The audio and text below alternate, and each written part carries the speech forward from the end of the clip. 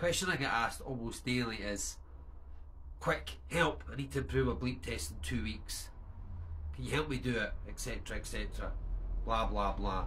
I'm going to train really, really hard. I'm going to do this. And I try and give people the nicest answer and an encouraging answer uh, without being too critical. Two weeks is fuck all when it comes to training. Most of these people are talking about moving, improving their bleep test by two or three levels. So it could be up to about four, or five hundred meters, two, two minutes, three minutes of extra running. They want to get that sort of improvement in two weeks. Now, whilst not impossible, there's a lot of factors that come into play with that. Their age, their genetics, their gender, training history, are they beginner or the advanced, previous injuries, weight, and these will have an impact on how quickly they will improve, how significant their improvements will be. I don't get anybody come and ask me if they could maybe stick 40 kgs in their bench press in two weeks. Because most people know that's fucking stupid. Watch. Ugh. There's that 40 kgs right here. There's one of them. 20 kilograms. Oh. There's the other one. 20 kilograms. Not many people ask me if they can put that 40 kilograms on their bench press in two weeks. Or on their squat in two weeks. Or their deadlift in two weeks.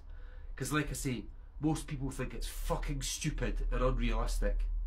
It's similar with the, the bleep test. Trying to improve by two or three levels in two weeks is fucking stupid. Most people need, I would say, about eight weeks of consistent training. The main thing is to give yourself enough time, to give yourself uh, time to be consistent with your training. Three good sessions a week, incorporating specific stuff for the bleep test, incorporating specific strength training for bleep test. Then you'll get through it. But thinking you can fucking chuck four, five hundred meters on in two weeks, two or three extra minutes of running per week, forty kilos in the bench press in two weeks, it's just fucking unrealistic and stupid. Get yourself a plan. And I'm sorry if it sounds a bit harsh, but sometimes people just need to be told the harsh realities. Very, very few people will manage to make that improvement. As I said, not possible, but very, very few. You might be lucky enough to be one of the few.